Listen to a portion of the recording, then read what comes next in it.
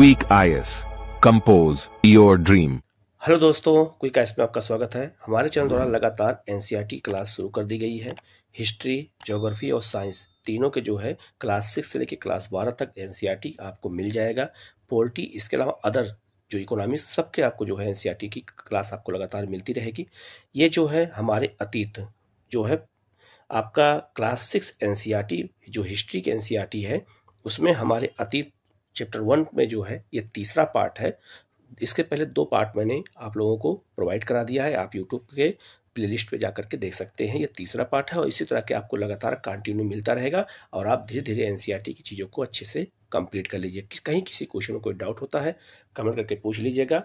इसके अलावा जो है, आप जो है चैनल को सब्सक्राइब कर लीजिएगा बेल आइकन को प्रेस कर लीजिएगा, जिससे इस तरह क्लास आपको लगातार मिलती रहे। हम लोग शुरू करते हैं सीधे लेसन की ओर।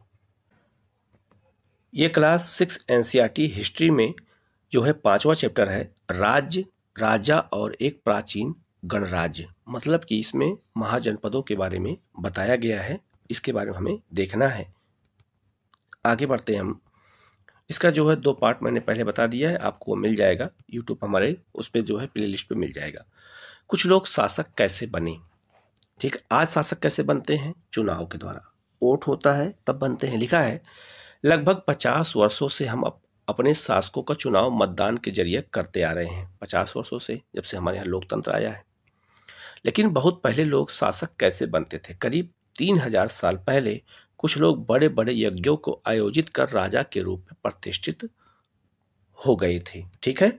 अश्वमेघ यज्ञ जिसे राम ने भी किया था। तो अश्वमेघ यज्ञ एक ऐसा ही आयोजन था जिसमें एक घोड़े को राजा के लोगों की देखरेख में स्वतंत्र विचरण के लिए छोड़ दिया जाता था। इस घोड़े को किसी दूसरे राजा ने रोका तो उसे वहाँ अश्वमेघ यज्ञ करने वाले राजा से लड़ाई करनी पड़ती थी। मतलब यह साम्राज्य विस्तार का एक बहुत अच्छा तरीका था प्राचीन काल में, इस बात को याद रखना। ठीक है?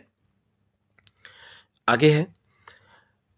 अगर उन्होंने घोड़े को जाने दिया तो इसका मतलब है, यह होता था कि अश्वमेघ यज्ञ करने वाला राजा उनसे ज़्यादा शक्तिशाली था।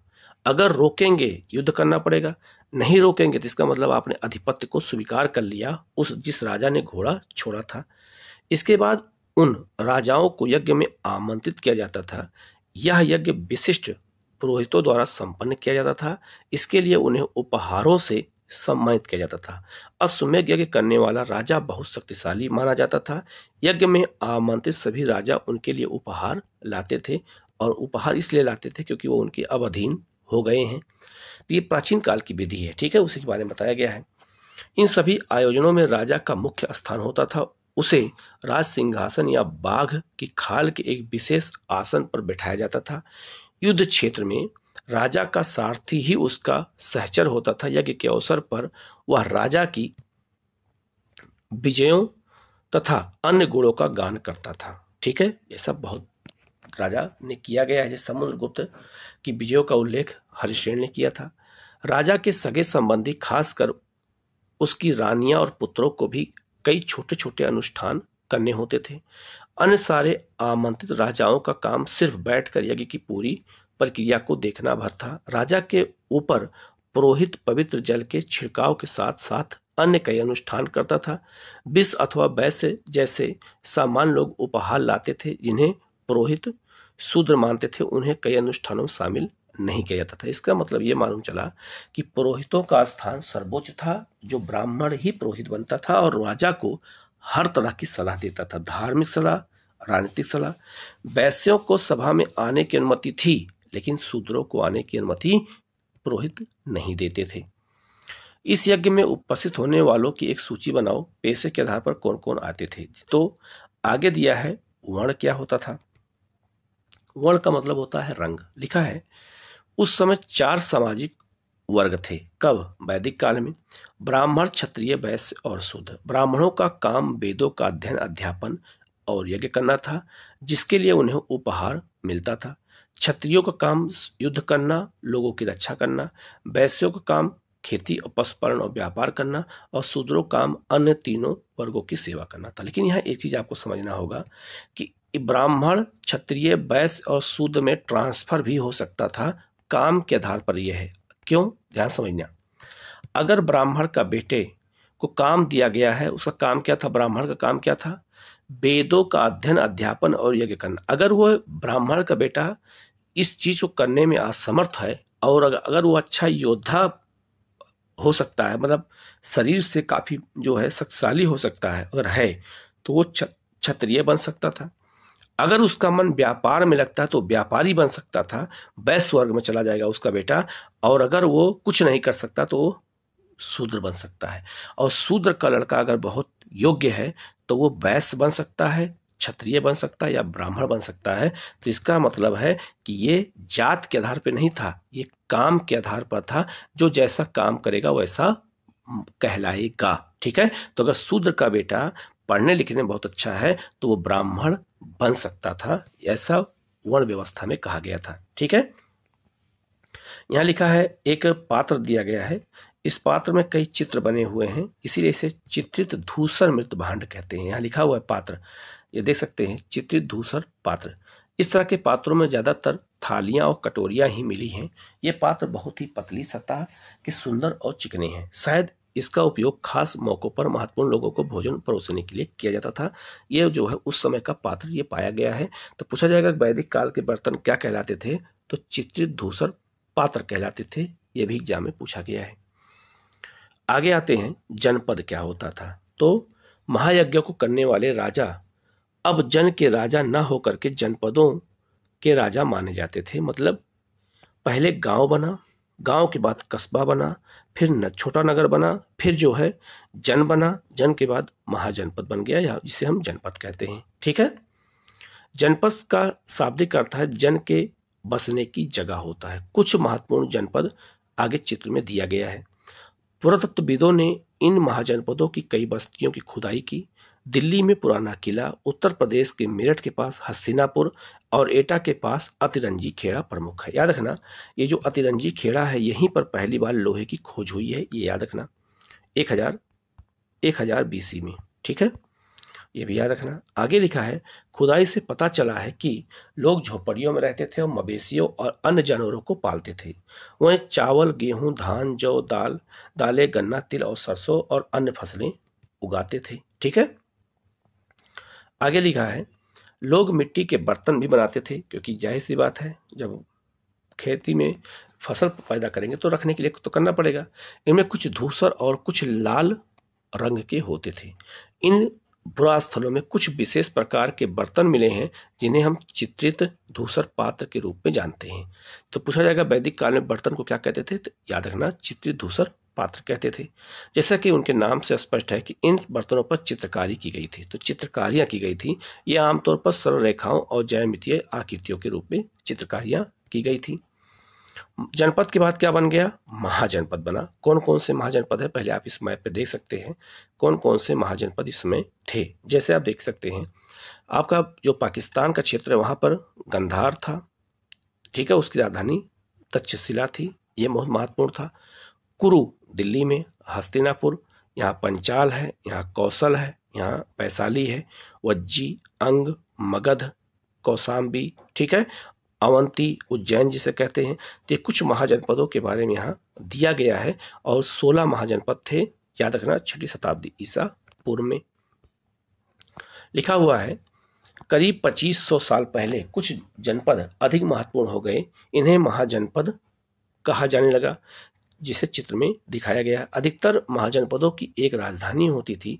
कई जो है राजधानियों में किलेबंदी की गई थी, अर्थात उनके चारों ओर लकड़ी, ईट और पत्थर की ऊँची दीवारें बनाई गई थी सुरक्षा के लिए। ठीक है? तो 16 महाजनपद की जो लिस्ट है, वो आप ये लिस्ट को देख सकते हैं। ये 16 महाजनपद की लिस्ट है और इस इस लिस्ट में आप साफ़ साफ़ देख सकते हैं कि जनपद कहाँ पे है वर्तमान में और वो जो है उसकी राजधानी क्या है और वो जनपद का नाम क्या है? तो सोलह महाजनपद आपको याद करना पड़ेगा। इस लिस्ट को आप यहाँ अच्छे से देख लीजिए। इनमें सबसे शक्तिशाली महाजनपद कौन था? मगध था। ठीक है? आगे लिखा हुआ है ऐसा लगता है कि लोगों ने अन्य राजाओं के आक्रमण से डरकर अपनी सुरक्षा के लिए इन किलों का निर्माण किया था। ज़ाहिर सी बात है, कुछ राजा अपनी राजधानी के चारों ओर विशाल, ऊँची और प्रभावशाली दीवार खड़ी कर अपनी समृद्धि और शक्ति का प्रदर्शन भी करते थे। इस तरह के किले के अंदर रहने वाले लोगों और उस क्षेत्र पर नियंत्रण रखना भी सरल हो जाता था। इस तरह के विशाल दीवार बनाने के लिए व्यापक योजना की आवश्यकता थी और लाखों की संख्या में ईंटों और पत्थरों का इस्तेमाल इंतज़ाम करना पड़ता था। हज़ारों स्त्री पुरुषों, बच्चों ने इसके लिए अथक परिश्रम किया। इसके लिए उन्हें संसाधनों की आवश्यकता पड़ी होगी। ठीक है? यहाँ पर एक दीवार दी गई है। आप ये देख सकते हैं। यह दीवार उत्तर प्रदेश के प्रयागराज के बगल, जिसे इलाहाबाद पहले कहते थे कौसाम्बी एक जिला है। वहीं पर यह दीवार बनी हुई है 2500 साल पहले। तो उस नगर की सुरक्षा के लिए दीवार बनाई गई थी। ये उसी का एक मैप यहाँ दिखाया गया है, ठीक है? आप देख सकते हैं कितनी ऊँची दीवार है और कैसे इसको बनाया गया है। अब राजा सेना रख, रखते, रखने लगे थे, ठीक है? सिपाहियों को नियमित वेतन देकर पूरे साल रखा जाता था। कुछ भुगतान संभवतः आहत मुद्राओं, आहत सिक्कों में होता था और कुछ जो है, अनाज के रूप में भी होता था। आगे बढ़ते हैं। कर क्या है? महाजनपदों के राजा विशाल किले बनवाते थे और बड़ी सेना रखते थे। तो किला बनवाएँगे बड़ी सेना रखेंगे तो आपसे कर तो लेंगे ही। इसलिए उन्हें प्रचुर संसाधन की आवश्यकता होती थी। इसके लिए उन्हें कर्मचारियों की भी आवश्यकता होती थी। अतः महाजनपदों के राजा लोगों द्वारा समय समय पर लगा, लगाए गए उपहारों पर निर्भर न रह करके अब नियमित रूप से कर वसूलने लगे थे। ठीक है? तो कर कहाँ कहाँ वसूलते थे? ठीक है? तो कर की वसूली करते थे। फ़सलों पर लगाए गए कर कारीगरी के ऊपर लगाए गए कर, पशुपालकों को जानवरों या उनके उत्पाद के रूप में लगाया गया कर, व्यापारियों को सामान पर कर देना पड़ता था। आखेटकों, संग्राहकों को जल, जंगल से प्राप्त वस्तुओं पर कर देना पड़ता था। तो कर जो है अलग अलग किस्म से राजा लेता है और आज भी हमें टैक्स देना पड़ता है। कृषि में परिवर्तन आया। कृषि में परिवर्तन कैसे आया? क्योंकि इस काल में लोहे का इस्तेमाल हुआ और लोहे के इस्तेमाल होने से कृषि क्षेत्र में उन्नति बहुत हुई, क्योंकि फ़सलों का उत्पादन ज़्यादा होने लगा, हल अब लोहे के बनने लगे। लिखा है कि इस युग में कृषि के क्षेत्र में दो बड़े परिवर्तन आए। वैदिक काल में कौन कौन से? तो हल के फाल अब लोहे के बनने लगे। अब कठोर ज़मीन को लकड़ी के फाल की तुलना में लोहे के फाल से आसानी से जोता जा सकता था। इससे फ़सलों की उपज बढ़ गई और जब फ़सल बढ़ेगी, जनसंख्या भी बढ़ेगी। क्योंकि लोग खाएँगे ज़्यादा। लिखा है, दूसरे, लोगों ने धान के पौधों का रोपण शुरू किया, अर्थात खेतों में बीज छिड़क करके धान उपजाने के बजाय धान के पौधे तैयार कर उनका रोपण किया जाता था, किया गया। अब पहले की तुलना में बहुत ज़्यादा पौधे जीवित रह रह जाते थे, इसलिए पैदावार भी ज़्यादा हो गई। अब जब पैदावार ज़्यादा होगी तो ज़ाहिर सी बात है, लोग ज़्यादा खाएँगे, जनसंख्या ज़्यादा बढ़ेगी। ठीक है? सूक्ष्म निरीक्षण किया गया है मगध का। मगध के बारे में हम पहले जान लेते हैं। मगध महाजनपद जो है, सभी महाजनपदों में सबसे शक्तिशाली था। मगध के शक्तिशाली होने के पीछे कारण क्या है मैं पहले बता देता हूँ, फिर आप लोग इसको पूरा पढ़ दूँगा मैं। मगध महाजनपद, याद रखना, ये गंगा नदी है और ये सोन नदी है, इसी के संगम पर स्थित था। तो मगध महाजनपद प्राकृतिक रूप से सुरक्षा प्रदान करता था कि मगध पर कोई आक्रमण नहीं कर सकता था। क्यों? ये मगध है अगर तो मगध के एक तरफ़ गंगा नदी, एक तरफ़ सो नदी तो मगध पर आक्रमण नहीं किया जा सकता था और इसके दक्षिणी और पूर्वी क्षेत्र में पहाड़ियाँ थीं तो मगध पर आक्रमण करना आसान काम नहीं था। दूसरा, मगध के राजा योग्य और अच्छे राजा थे, शक्तिशाली राजा थे, जिन्होंने मगध राज के उत्कर्ष को आगे बढ़ा दिया। यहाँ पर जो पहाड़ियाँ थी, वहाँ लोहा लोहा पाया जाता था, जिससे औज़ार बनाना आसान हो गया। तो सेना के लिए औज़ार हो गया, खेती के लिए जो है, हल बनने लगे और वहाँ पर कुटीर और लघु उद्योगों का विकास हो गया। और जब कृषि ज़्यादा अधिक होगी तो मगध में जनसंख्या भी ज़्यादा बढ़ेगी तो सेना में लोगों को भर्ती होने के लिए सैनिक भी मिलने लगे। तो मगध राज के उत्कर्ष के पीछे कई कारण थे इसी को यहाँ बताया गया है, ठीक है? यहाँ लिखा है, मगध को ढूंढो। तो मगध के बारे में मैंने आपको दिखा दिया था। लगभग 200 सालों के भीतर मगध सबसे शक्तिशाली जनपद बन गया। गंगा और सोन जैसी नदियाँ मगध से होकर के बहती थी। यातायात, जल वितरण और ज़मीन को उपजाऊ बनाने के लिए महत्वपूर्ण थी। तो इससे यातायात भी संभव हुआ, जल वितरण भी हुआ खेती के लिए और ज़मीन को उपजाऊ बनाने के लिए ये नदियाँ बहुत महत्वपूर्ण थी। मगध का एक हिस्सा जंगलों से भरा था। इन जंगलों में रहने वाले हाथियों को पकड़कर और उन्हें प्रशिक्षित कर सेना में काम में लाया जाता था। तो इसीलिए मगध के पास सेना के लिए जंगल थे और वहाँ पे जंगल मतलब जंगल थे और वहाँ पे हाथी को पकड़ के लाया गया। यही नहीं, जंगलों में, जंगलों से घर, गाड़ियाँ और रथ बनाने के लिए लकड़ी भी मिल गई। इसके अलावा इस क्षेत्र में लोहे अयस की खोज हो गई, खदानें थी और मज़बूत औज़ार और हथियार बनाने के लिए उपयोगी थे। तो यही सब कारण है मगध राज्य के उत्कर्ष के पीछे। यही क्वेश्चन पीटी में और मेंस में आता है। तो इसी चीज़ को हमें समझना है यहाँ। फिर मगध को शक्तिशाली बनाने में एक कारण और भी था। राजा योग्य थे। यहाँ लिखा है, मगध में दो बहुत ही शक्तिशाली शासक बिंबिसार और अजात शत्रु हुए। अन्य जन, अन्य जनपदों को जीतने के लिए ये हर संभव साधन अपराते थे। महापदानंद एक और महत्वपूर्ण शासक था। उन्होंने अपने नियंत्रण का क्षेत्र उस, इस उपमहाद्वीप के उत्तर पश्चिमी भाग तक फैला दिया। बिंबिसार के समय में और अजाशत्रु के समय में और महाजनपद का विस्तार ज़्यादा हुआ और महापदानंद के समय में इसका विस्तार उत्तर पश्चिमी क्षेत्र तक चला गया। ठीक है? बिहार में राजगिर आधुनिक राजगीर कई सालों तक मगध की राजधानी बनी रही। बाद में पाटलिपुत्र, आज का पट्टा को राजधानी के रूप में बहुत दिनों तक बनाया गया। तेईस सौ साल से भी पहले की बात है, मेसिडोनिया का राजा सिकंदर विश्व विजय करना चाहता था। पूरी तरह सफल न होने के पर भी वह मिस्र और पश्चिमी एशिया के कुछ राज्यों को जीतता हुआ भारतीय उपमहाद्वीप में ब्यास नदी के किनारे तक पहुँच गया। जब उसने मगध की ओर कूच करना चाहा तो उसके सिपाहियों ने इनकार कर दिया। वह इस बात से भयभीत थे कि भारत के शासकों के पास पैदल, रथ और हाथियों की बहुत बड़ी सेना है। तो मगध में कौन राजा था? घनानंद था, जिस वक्त सिकंदर का आक्रमण हुआ था तो उसकी सेना से डर गए। सिकंदर के सैनिक इसलिए वो पीछे कर गए, बैक कर गए। इन सेनाओं और ऋग्वेद में उल्लिखित सेनाओं के बीच में तुम्हें क्या अंतर दिखाई दे रहा है? तो ऋग्वेद में जो सेना थी, उसके पास ये सब हथियार नहीं थे, जो महाजनपद में आए। एक वज्जी महाजनपद है, इसके बारे में बताया गया है, और वज्जी महाजनपद विश्व का पहला गणराज्य है। ये गणराज्य था, ठीक है? इसकी राजधानी वैशाली थी। लिखा है, जैसा कि तुमने ऊपर देख पढ़ा है, मगध एक शक्तिशाली राज्य बन गया था। उसके नज़दीक ही वज्जी महाजनपद था इसके उत्तर में, जिसकी राजधानी वैशाली, बिहार थी। यहाँ एक अलग किस्म की शासन व्यवस्था थी, जिसे गण या संघ कहते थे। गण या संघ में कई कई शासक होते थे और इनमें से प्रत्येक व्यक्ति राजा कहलाता था। ये सभी राजा विभिन्न अनुष्ठानों को एक साथ संपन्न करते थे। सभाओं में बैठकर बातचीत, बहस और वाद विवाद के ज़रिए चीज़ों को तय करते थे। कि क्या करना है, किस तरह करना है, शत्रुओं के आक्रमण से निपटने के लिए वो मिल करके चर्चाएँ करते थे। स्त्रियाँ, दास जो है, इन सबको जो है, सभाओं में हिस्सा लेने का अधिकार नहीं था, ठीक है?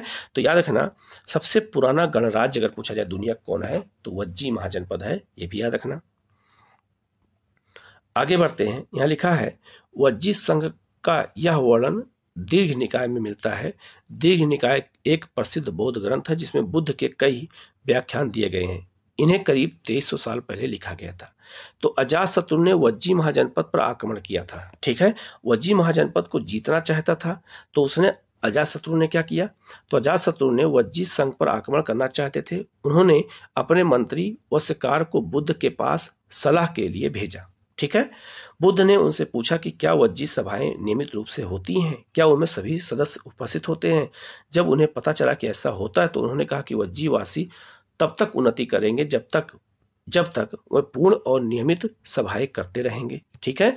तो इसका मतलब है कि उसके वज्जी महाजनपद के शक्तिशाली होने के पीछे ये सब कारण थे। ठीक है? दूसरा क्या कारण है? आपस में मिलजुल करके काम करते रहेंगे, तब तक वो कभी हार नहीं सकते। पारंपरिक नियमों का पालन करते रहेंगे, बड़ों का सम्मान, समर्थन और उनकी बातों पर ध्यान देते रहेंगे वजी महिलाओं के साथ ज़ोर ज़बरदस्ती नहीं करेंगे और उन्हें बंधक नहीं बनाएँगे, शहरों और गाँवों में चैत्यों का रख रखाव करेंगे, विभिन्न मतौलंबी संतों के सम्मान और उनके आने जाने पर कोई रोक नहीं लगाएँगे, इस चीज़ को बताया गया। यहाँ लिखा है, वज्जी संघ अन्य महाजनपदों से भिन्न कैसे था, क्योंकि ये गणराज्य था। ठीक है तो कम से कम तीन अंतर बताना है तो ये अंतर यही है, ये नियमित सभाएँ करते थे, हर चीज़ को मिलजुल करके काम मिलाते थे और जो है, ये हर नियमों का पालन ठीक ढंग से करते थे। ठीक है? इसीलिए वज्जी महाजनपद को जीतना जो है अजात शत्रु के लिए एक बहुत बड़ा चैलेंज था और उसने जो है, अपने मंत्री वस्कार की मदद से जो है जो है, वज्जियों में फूट डाल दिया और तब जो है, वज्जी महाजनपद को अजात शत्रु ने जीता था। ठीक है?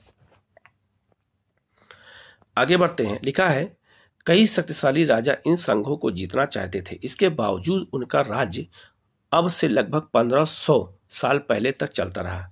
उसके बाद गुप्त शासकों ने गण और संघ पर विजय प्राप्त कर उन्हें अपने राज्य में मिला लिया। इसके बारे में हम आगे पढ़ेंगे नौवें अध्याय में। ठीक है? तो ये यहाँ पे ये जो है बताया गया है, इसको मैंने, आप लोग इसको पढ़ लीजिएगा, मैंने इसको बता दिया है, ठीक है? किसी क्वेश्चन में यहाँ कोई डाउट होता है तो आप कमेंट करके उसको पूछ लीजिएगा, ठीक है? आप देख सकते हैं यहाँ पे लिखा है कुछ महत्वपूर्ण तिथियाँ। नए शासक लगभग तीन हज़ार साल पहले, महाजनपद लगभग आज से तीन हज़ार साल पहले, सिकंदर का आक्रमण, दीर्घ निकाय का लेखन लगभग तेईस सौ साल पहले, गण और संघ राज्यों का अंत लगभग पंद्रह सौ साल पहले तो आज के परिप्रेक्ष्य में बताया गया है, ये बात याद रखना, ठीक है? क्लास सिक्स का ये अध्याय सिक्स है नए प्रश्न नए विचार।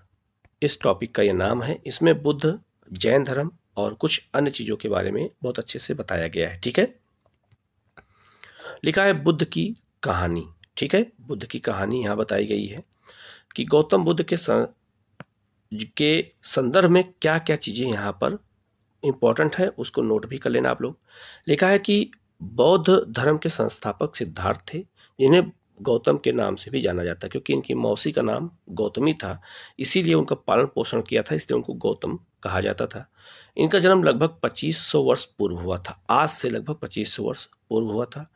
यह वह समय था जब लोगों के जीवन में तेज़ी से परिवर्तन हो रहे थे, अर्थात छठी शताब्दी ईसा पूर्व में जिस समय महाजनपद का उदय हो रहा था, उसी समय बुद्ध का भी उदय हुआ है। ठीक है? लिखा है कि महाजनपदों के कुछ राजा इस समय बहुत शक्तिशाली हो गए थे, जैसे बिंबिसार, अजाशत्रु। हज़ारों सालों के बाद फिर से नगर उभर रहे थे। गाँव के जीवन में भी बदलाव आ रहा था। बहुत से विचारक इन परिवर्तनों को समझने का प्रयास कर रहे थे। वो जीवन के सच्चे अर्थ में को भी जानना चाह रहे थे। बुद्ध क्षत्रिय थे। क्षत्रिय थे तथा साक्य नामक एक छोटे से गण के से संबंधित थे, क्योंकि वह जी महाजनपद में थे। युवा अवस्था में वह ज्ञान की खोज में उन्होंने घर के सुखों को त्याग दिया। अनेक वर्षों तक वह भ्रमण करते रहे और अन्य विचारकों से मिल करके चर्चा करते रहे। अंततः ज्ञान प्राप्ति के लिए उन्होंने स्वयं ही रास्ता ढूँढने का निश्चय किया। इसके लिए उन्होंने बोध गया बिहार में एक पीपल ब्रिज के नीचे जो है कुछ दिनों तक तपस्या की और अंततः उन्हें ज्ञान की प्राप्ति हुई और बुद्ध ने जो है वाराणसी के निकट सारनाथ गए और सारनाथ को याद रखना इसे मृग दाव और जो है ऋषि पत्नम भी कहा जाता है, ये भी याद रखना। ठीक है, इसके दो नाम और भी हैं। कुशीन, कुशीनारा में मृत से पहले एक का शेष जीवन उन्होंने पैदल ही एक स्थान से दूसरे स्थान यात्रा करके और लोगों को शिक्षित करने में व्यतीत किया, अपना ज्ञान देने में व्यतीत किया। ठीक है? बुद्ध ने शिक्षा दी कि यह जीवन कष्टों और दुखों से भरा हुआ है और ऐसा हमारी इच्छा और ला, लालसाओं हमेशा जो पूरी नहीं हो सकती कारण होता याद रखना, बुद्ध ने कहा कि हर व्यक्ति दुखी है और दुख और कष्ट का कारण क्या है? लालसा, इच्छा। जितना हम इच्छा करेंगे, उतना हम दुखी रहेंगे। लिखा है कभी कभी हम जो चाहते हैं, वह प्राप्त कर लेने के बाद भी संतुष्ट नहीं होते हैं और और और अधिक जो है वस्तुओं को पाने की इच्छा मतलब लगाते हैं। बुद्ध ने इस जो है लिप्सा या तृष्णा, इसे तृष्णा कहा मतलब जो है एक तरह के घृणा की दृष्टि मतलब कि घृणा क्या कह सकते हैं? एक तरह से मन में नफरत है, हो जाना, या मन में जो है घृणा हो जाना, या मन में एक तरह से कह सकते हैं लालसा हो जाना किसी चीज़ को पाने के लिए। बुद्ध ने शिक्षा दी कि आत्म संयम अपना करके हम ऐसे लालसा से मुक्ति पा सकते हैं। ठीक है? आगे उन्होंने कहा उन्होंने लोगों को दयालु होने तथा मनुष्यों के साथ साथ जानवरों के जीवन का भी आदर करने की शिक्षा दी, अर्थात अहिंसा पे बल दिया। वे मानते थे कि हमारे कर्मों के परिणाम, चाहे वे अच्छे हों या बुरे, हमारे वर्तमान जीवन में के साथ साथ बाद के जीवन में भी प्रभावित करते हैं। अर्थात बौद्ध धर्म पुनर्जन्म में विश्वास करता था। बुद्ध ने अपनी शिक्षा सामान्य लोगों की प्राकृत भाषा में दी इसीलिए बुद्ध ज़्यादा महान बन गए। इससे सामान्य लोग भी उनके संदेश को समझ सके। मतलब उन्होंने जनता की भाषा में अपना संदेश दिया। यहाँ पे देख सकते हैं यहाँ पे लिखा है एक सारनाथ स्तूप यह गुप्त काल में बनाया गया था। इस इमारत को स्तूप के, के नाम से जाना जाता है। यहीं पर बुद्ध ने अपना पहला उपदेश दिया था यह सारनाथ में स्थित है ठीक है? तो आप ये देख सकते हैं ये इस स्तूप का नाम है धमेक स्तूप। ये जो बना हुआ है, ये कनिंघम महोदय ने इसको खोजा था यह वाराणसी में है, सारनाथ में है, और इसको हम धमेक स्तूप के नाम से जानते हैं, ठीक है? आगे लिखा है, वेदों की रचना के लिए किस भाषा का प्रयोग किया गया था तो आपको पता होगा, संस्कृत। बुद्ध ने कहा कि लोग किसी शिक्षा को केवल इसलिए नहीं स्वीकार करें कि यह उनका उपदेश है, बल्कि वह उसे अपने विवेक से मापे। आओ देखो उन्होंने ऐसा किस प्रकार किया, ठीक है? आगे लिखा है, यहाँ पर एक कहानी दी गई है, बुद्ध के जीवन से जुड़ी हुई क्या कहानी है? लिखा है, किसा गौतमी की कहानी। किसा गौतमी की कहानी क्या है? यह बुद्ध के विषय में एक प्रसिद्ध कहानी है। एक समय की बात है कि किसागो तमी नामक एक स्त्री का पुत्र मर गया। इस बात से वह दुखी अत्यधिक दुखी हुई और वह अपने बच्चे को गोद में लिए नगर की सड़कों पर घूम घूम करके लोगों से प्रार्थना करने लगी कि कोई उनके पुत्र को जीवित कर दे। एक भला व्यक्ति उसे बुद्ध के पास ले गया। बुद्ध ने कहा, मुझे एक मुट्ठी सरसों के बीज लाकर दो तो मैं तुम्हारे पुत्र को जीवित कर दूँगा। किसागो किसागो, तुम्हें बहुत पसंद हुई, पर जैसे ही वह बीज लाने के लिए जाने लगी, तभी बुद्ध ने उसे रोका और कहा यह बीज एक ऐसे घर से मांग कर लाओ, जहाँ किसी की मृत्यु ना हुई हो। उसको समझाने के लिए ऐसा किया उन्होंने। तो ऐसा कोई घर दुनिया में नहीं है, जहाँ पर किसी की मृत्यु ना हुई हो। ठीक है? किसागोतमी एक दरवाजे से दूसरे दरवाजे गई, लेकिन वह जहाँ भी गई, उसने पाया कि हर घर में किसी न किसी की, कि पिता, माता, बहन, भाई, पति, पत्नी, बच्चे, चाचा, चाची, दादा, दादी की मृत्यु हुई थी। बुद्ध दुखी माँ को क्या शिक्षा देने का प्रयास कर रहे थे? तो आप समझ गए होंगे कि मृत्यु निश्चित है, इसलिए उसको उसको लेकर के वियोग मत करो, ठीक है? और दुखी मत रहो, क्योंकि तुम्हारा पुत्र वापस नहीं आ सकता है। जो एक बार मर गया, वो दोबारा ज़िंदा नहीं हो सकता है। तो क्यों वो महिला परेशान रहे? इसीलिए उस चीज़ को बताया गया है। यहाँ लिखा है, उपनिषद, याद रखना, उपनिषद जो है, ये एक दर्शन है, वैदिक साहित्य का दर्शन है।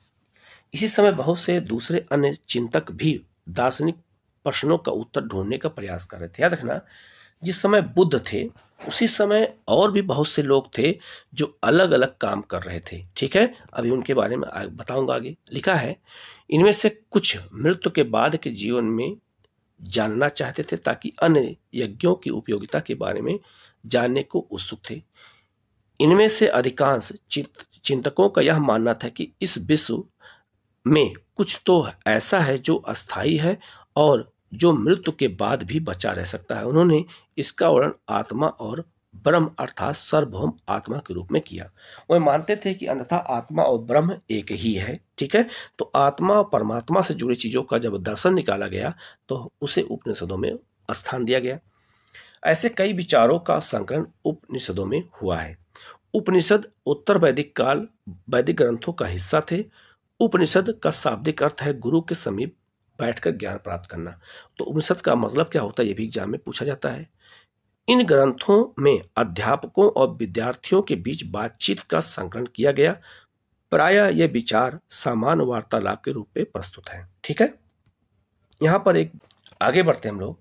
जिस समय बुद्ध छठी पूर्व में थे, उसी समय सोलह महाजनपदों का विकास हुआ और उसी समय भारत में कई बौद्धिक अलग अलग जो है पद्धतियाँ उत्पन्न हुई और कई उसके जो है जन्मदाता थे। भारतीय दर्शन की छह पद्धति थी, जिसे हम सरदर्शन कहते हैं। सदियों से भारत द्वारा सत्य की बौद्धिक खोज का प्रतिनिधित्व दर्शन की छह शाखाओं ने किया था। ये वैशेषिक, न्याय, सांख्य योग्य पूर्ण मीमांसा और वेदांत या उत्तर मीमांसा के नाम से जाने जाते हैं। दर्शन की इन छह पद्धतियों की स्थापना किसने किया था? तो ऋषि कणाद ने किया किया था? वैशेषिक का, गौतम ने न्याय का, कपिल ने सांख्य का, पतंजलि ने योग का, जैमिनी ने पूर्व मीमांसा का, व्यास ने वेदांग का। ठीक है? आगे लिखा है कि जो आज भी देश में बौद्धिक चर्चा को दिशा देते हैं, जर्मन मूल के जो है, विशिष्ट भारतविद फेडरिक मैक्स मुलर के अनुसार दर्शन की इन छह शाखाओं का विकास कई पीढ़ियों के दौरान व्यक्तिगत विचारकों के योगदान से हुआ है। यद्यपि यह एक दूसरे से भिन्न दिखते हैं, तथापि सत्य की इनकी समझ में आधारभूत तालमेल दिखता है। तो इन छह दर्शन के माध्यम से हिंदू धर्म को आसानी से समझा जा सकता है। बुद्धिमान भिखारी, ये एक कहानी दी गई है। बुद्धिमान भिखारी की इसको एक बार आप लोग पढ़ लीजिएगा, ठीक है? मैं ऐसा कुछ नहीं है, लेकिन एक बार आप पढ़ लीजिएगा। यहाँ लिखा है इन चर्चाओं में भाग लेने वाले अधिकांश पुरुष ब्राह्मण और राजा हो, होते थे।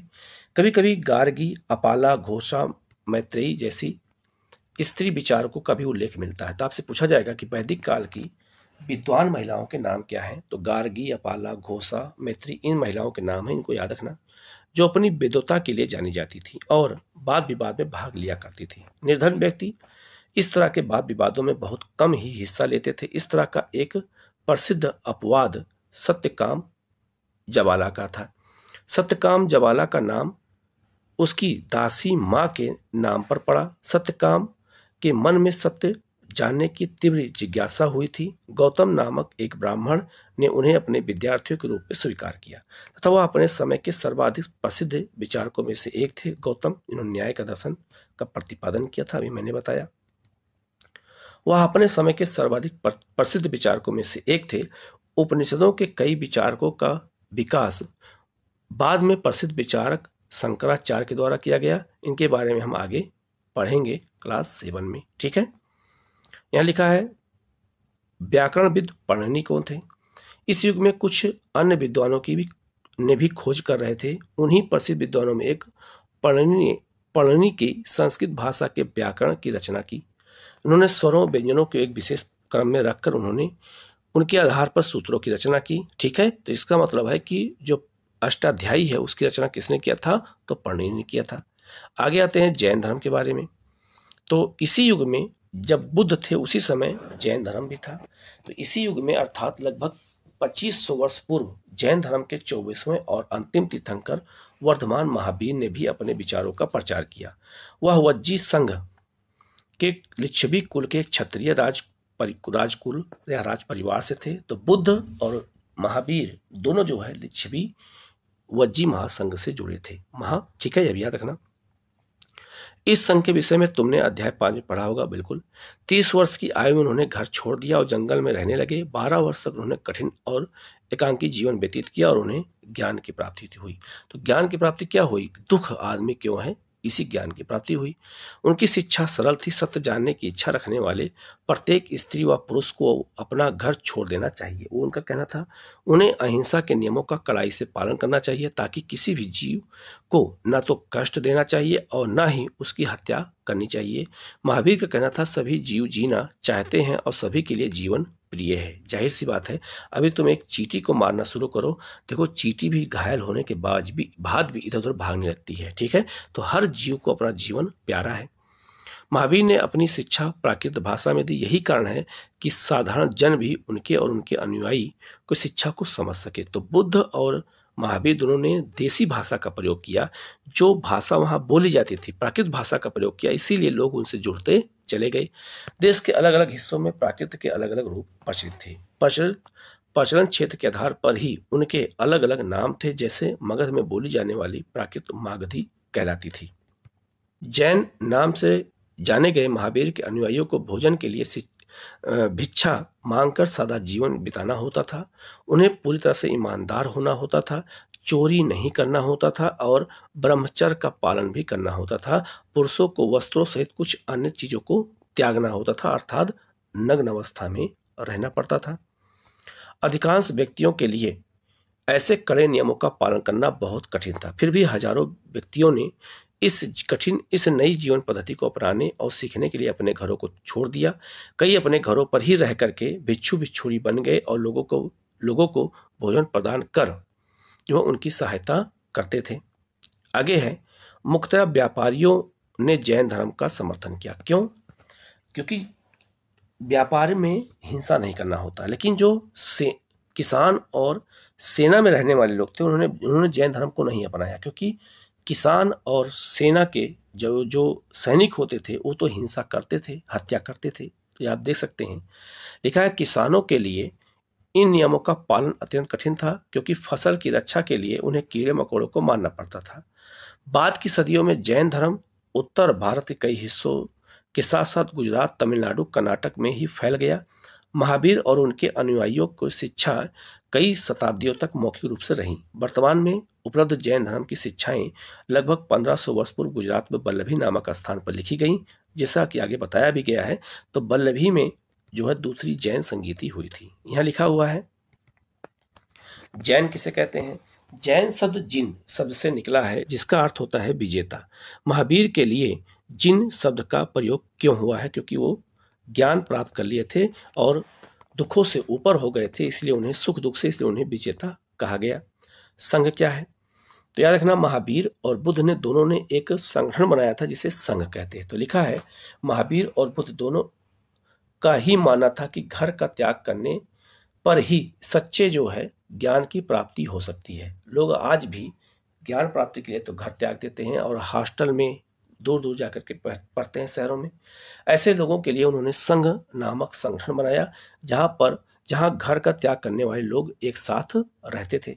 संघ में रहने वाले बौद्ध भिक्षुओं के लिए बनाए गए नियम विनय पिटक में मिलता है। तो विनय पिटक क्या है? जिसमें संघ में जो भिक्षु रहते थे, उनके लिए नियम इसमें पाया गया है। ये क्वेश्चन कई बार आया हुआ है। विनय पिटक से हमें पता चलता है कि संघ में पुरुषों और स्त्रियों के रहने के लिए अलग अलग व्यवस्था थी।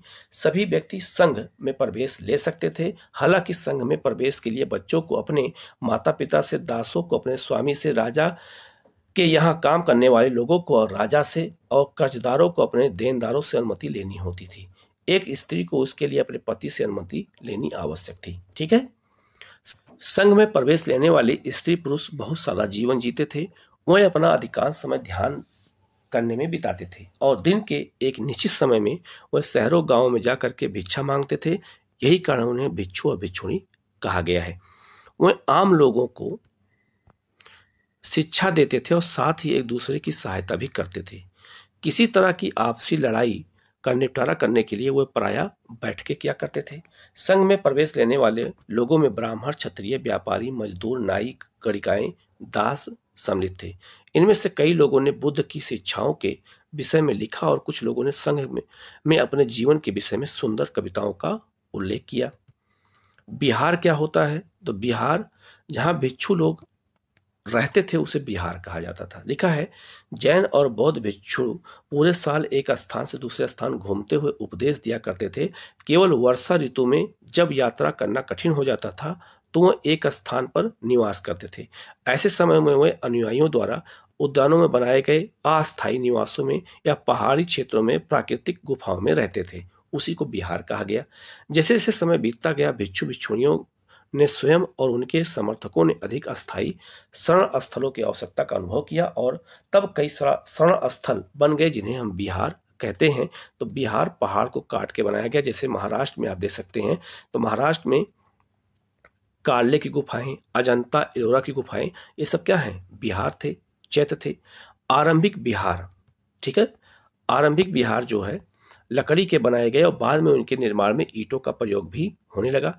पश्चिम भारत में विशेषकर कुछ बिहार पहाड़ियों को खोद कर बनाए गए थे, जैसे अजंता एलोरा मैंने बता दिया।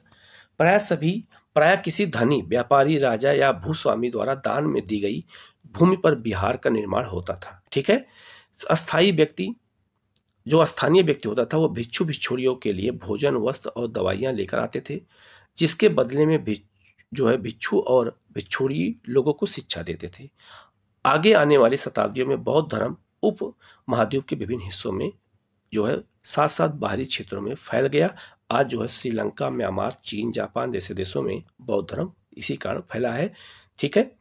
आगे लिखा है, इस समय बौद्ध धर्म की एक नई धारा महायान का विकास हुआ। तो हीनयान और महायान में बौद्ध धर्म बट गया। इसकी दो मुख्य विशेषताएँ थी। पहली, मूर्तियों। मूर्तियों में बुद्ध की उपस्थिति सिर्फ़ कुछ संकेतकों के माध्यम से दर्शाई जाती थी। मिसाल के तौर पर उनकी निर्वाण प्राप्ति को पीपल के पीपल के पेड़ की मूर्ति द्वारा दर्शाया जाता था। पर अब बुद्ध की प्रतिमाएँ बनाई जाने लगी। मतलब बुद्ध की मूर्ति भी बनने लगी। इनमें से अधिकांश मथुरा में बनी और कुछ तक्षशिला में बनाई गई थी गंधार में। ठीक है? आगे यहाँ क्या दिया था एक चीज़? यहाँ कुछ लिया था। एक बौद्ध ग्रंथ से ज्ञात होता है कि जिस तरह महासागरों से, महासागरों में मिलने पर नदियों की अलग अलग पहचान समाप्त हो जाती है, ठीक उसी तरह बुद्ध के अनुयायी जब भिक्षुओं की श्रेणी में प्रवेश करते हैं तो वे अपना वर्ण, श्रेणी और परिवार सब त्याग देते हैं। मतलब वो केवल भिक्षु भिक्षुणी कहलाएँगे, किसी जात से उनका मतलब नहीं है। आगे लिखा है, दूसरा परिवर्तन बोधिसत्व में आस्था को लेकर आया। बोधिसत्व उन्हें कहते हैं जो ज्ञान प्राप्ति के लिए एकांत वास करते हुए ध्यान साधना कर सकते हैं, कर सकते थे। लेकिन ऐसा करने के बजाय वह लोगों की शिक्षा देने और मदद करने के लिए सांसारिक परिवेश में ही रहना ठीक समझते थे। धीरे धीरे बोधिसत्व की पूजा काफ़ी लोकप्रिय हो गई और पूरे मध्य एशिया, चीन बाद में कोरिया और जापान तक फैल गई। ठीक है? बौद्ध धर्म का प्रचार पश्चिमी और दक्षिण भारत में भी हुआ, जहाँ बौद्ध भिक्षुओं के रहने के लिए पहाड़ों में दर्जनों गुफाएँ बनाई गई हैं, जैसा मैंने आपको बता दिया है। ठीक है? यहाँ लिखा हुआ है, बौद्ध धर्म दक्षिण पूर्व की ओर श्रीलंका, म्यांमार, थाईलैंड, इंडोनेशिया सहित दक्षिण पूर्व एशिया के अन्य भागों में फैला। थेरवाद नामक बौद्ध धर्म का आरंभिक रूप इन क्षेत्रों में कहीं अधिक मिलता है। ठीक है? आगे है तीर्थ यात्रा क्या है? तो तीर्थ यात्रा जो है, की जाती थी अलग अलग क्षेत्रों में जाते थे लोग, मठों में जाके रहते थे, उसी के बारे में बताया गया है। और ये किसने किया था? तो हेन सांग ने किया था, फाहियान ने किया था। लिखा है, तीर्थयात्री वे स्त्री पुरुष होते थे जो प्रार्थना के लिए पवित्र स्थानों की यात्रा करते थे। इसी तरह भारत की यात्रा पर आया तीर्थयात्री जो है फाहियान काफ़ी लोग प्रसिद्ध था। वह करीब 1600 साल पहले आया था। हुएन सांग जो है 1400 साल पहले भारत आया था और उसने करीब 50 साल बाद इसिंग आया। तो फाहियान हुएनसांग और इसिंग आया। वह सब बुद्ध के जीवन से जुड़ी जगहों और प्रसिद्ध मठों को देखने के लिए भारत आए थे। इनमें से प्रत्येक तीर्थयात्री ने अपनी यात्रा का वर्णन किया। उन्होंने अपनी यात्रा के दौरान कई मुश्किलों के बारे में भी लिखा कि भारत में हमें क्या क्या मुश्किलें हुई हैं। इन यात्राओं में कई वर्ष लग जाया करते थे। जिन देशों और मठों को उन्होंने देखा, उसके बारे में उन्होंने लिखा और इन किताबों के बारे में उन्होंने लिखा, जिसे वह अपने साथ ले गए। तो भारत की जीवन पद्धति के बारे में उन्होंने लिखा। यहाँ ये लिखा है, नालंदा विश्वविद्यालय के बारे में एक विशिष्ट ज्ञान दिया गया है। सांग तथा अन्य तीर्थयात्रियों ने उस समय के सबसे प्रसिद्ध बौद्ध विद्या केंद्र नालंदा बिहार का अध्ययन किया। तो नालंदा में, याद रखना सांग ने अध्ययन किया था। उसे नालंदा के बारे में इस प्रकार लिखा है कि यहाँ के शिक्षक, ये किसने लिखा? है ने लिखा है कि यहाँ के शिक्षक योग्यता और बुद्धि में सबसे आगे हैं। बुद्ध के उपदेशों का, वह पूरी ईमानदारी से पालन करते हैं। मठ के नियम काफ़ी सख्त हैं। जिन्हें सबको मानना पड़ता था। पूरे दिन वाद विवाद चलते रहते थे ठीक है जिससे में जिससे युवा और बुद्ध जो है वृद्ध दोनों एक दूसरे की मदद करते थे मतलब वृद्ध लोग ठीक है। विभिन्न शहरों से विद्वान लोग अपनी जो है शंकाएँ दूर करने यहाँ आ, आते थे। नए जो है आंगुत्तों से पहले द्वारपालों की कठिन परीक्षा पूछते थे। मतलब जो लोग आते थे तो द्वारपाल पे ही उनसे कठिन परीक्षा प्रश्न पूछे जाते थे। उन्हें अंदर जाने की अनुमति तभी मिलती थी जब वह द्वारपाल को सही उत्तर दे पाते थे। दस में से सात, आठ सही उत्तर नहीं दे पाते थे तो मतलब वहाँ पर उनको प्रवेश नहीं मिलता था। हुएंसांग नालंदा में क्यों पढ़ना चाहता था? क्योंकि वो बौद्ध धर्म को के बारे में जानना चाहता था, ठीक है? यहाँ लिखा है, जीवन के चरण, आश्रम। तो याद रखना उस समय चार आश्रम का उल्लेख था तो आश्रम शब्द का तात्पर्य जीवन के एक चरण से है। तो आश्रम को एज के अनुसार चार भागों में बांटा गया था ब्रह्मचर्य आश्रम, गृहस्थ आश्रम, वानप्रस्थ आश्रम और संन्यास आश्रम में। ब्रह्मचर्य के अंतर्गत ब्राह्मण क्षत्रिय वैश्य से यह उपेक्षा की जाती थी कि वह इस चरण के दौरान सदा जीवन बिता करके वेदों का अध्ययन करेंगे। तो ब्रह्मचर्य में वेदों का अध्ययन होता था। गृहस्थ आश्रम के अंतर्गत वह परिवार, वह जो है, परिवार या विवाह कर नए गृहस्थ रूप में रहना होता था। वानप्रस्थ में उन्हें जंगल में रहकर साधना करना होता था और सब के लिए काम करना होता था। दूसरा, और जो कुछ त्याग कर सन्यासी बन जाते थे।